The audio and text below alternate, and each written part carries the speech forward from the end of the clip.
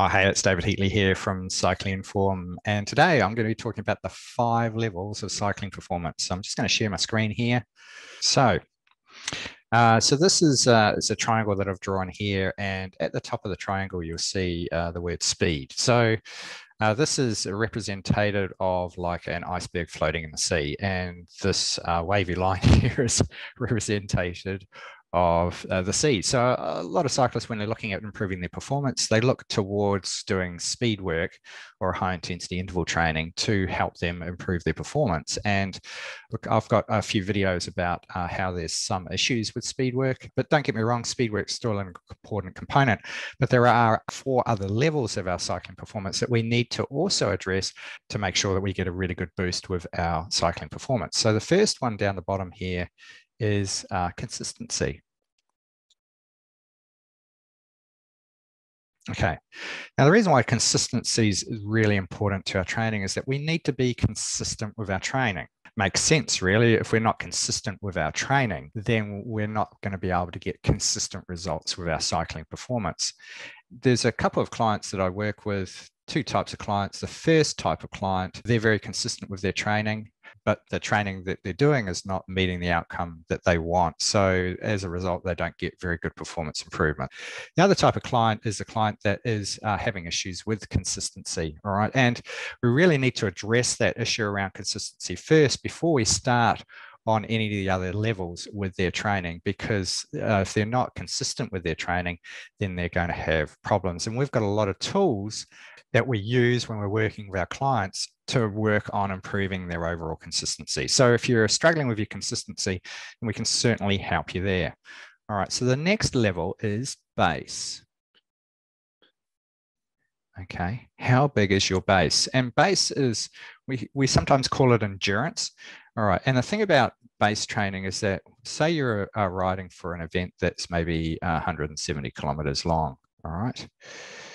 Okay, now a lot of people think when they're training for an event like this that they need to sit on a home trainer for 60 minutes and smash themselves silly doing some high intensity interval training to help them in this area here.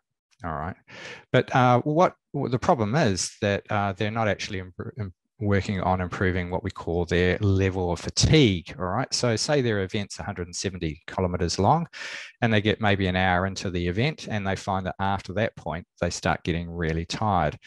So, the next thing we need to work on with our clients is making sure that we've got enough endurance within their training to be able to complete the event. All right. So, say they're racing 80 kilometers. And again, you know, it's important that's a kilometer that they have enough endurance to get to the end of the event here. All right. So, so that's the next level is working on endurance. Then we work on strength.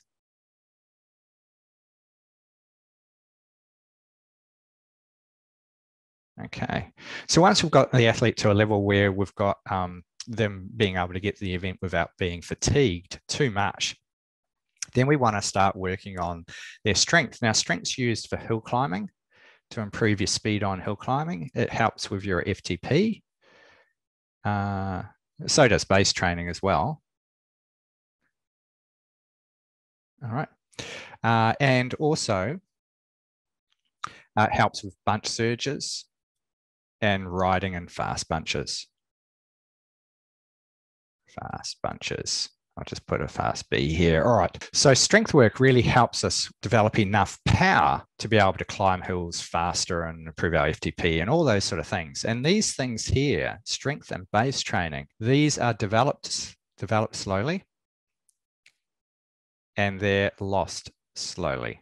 All right. So if you find that there's inconsistencies in your performance, that you know you one day you're riding really well, and the next day you're riding really not very well, uh, then by working on your strength and base training, you can help improve that. So we do a, a lot of work in this area here, and the interesting thing is that strength and base training is what actually builds a bigger engine. Uh, a lot of people think that it's speed training that builds your a bigger engine, but speed training is a little bit like nitro, adding nitro to a car. It's like if you when you add nitro to a car, the car goes faster. But when you take the nitro away, you're left with the same car. And speed training is developed quickly and it's uh, also uh, lost quickly. All right, and doesn't actually really build a bigger engine. It's like, like I say, adding nitro to a car. And there's also a ceiling to how much speed training you can do before you start plateauing and going backwards. And speed training is built on the foundation that we've got below here. So we spend a lot of time working with our clients on building a bigger engine. You know, so they, instead of driving around and cycling like in, in something like a Toyota Yaris or a Toyota Echo, you know, one of those small sort of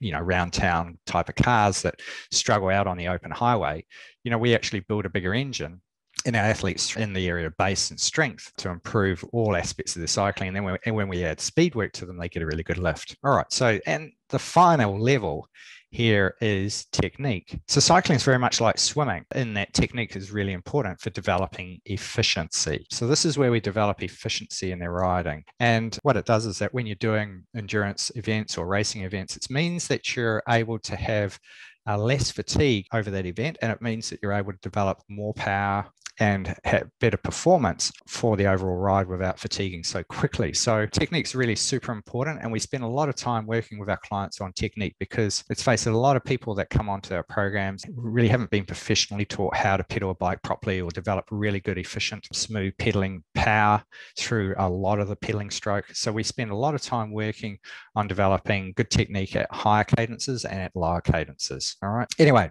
so those are the five levels. I hope that helps identify some of the areas that you may want to consider focusing your attention on. Of course, we're here to help you. So if you need any help with your overall training, I'll just stop sharing my screen. So if you need help in preparing for your racing or recreational rides that you're looking at doing in the future, then certainly reach out and contact us and uh, I'm sure we'll be able to help you out. Anyway, it's been David Heatley here from Cycling Inform. Hope you're enjoying these videos and if you like them, give us a bit of a thumbs up and uh, also uh, follow our channel. All right, take care and be awesome on the bike.